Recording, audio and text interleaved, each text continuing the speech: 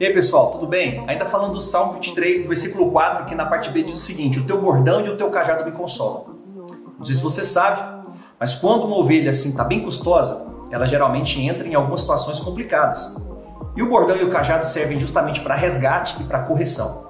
Ali o pastor fere a pata da, daquela ovelha e deixa ela ali e ensina como é bom ficar perto do pastor. Ele dá a primeira água, ele dá a primeira comida, e quando ela se cura, daquele breve momentâneo machucado, ela aprende como é bom ficar perto do pastor.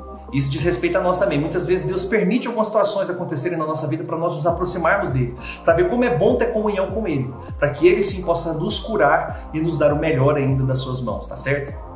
Um grande abraço, falaremos mais sobre isso.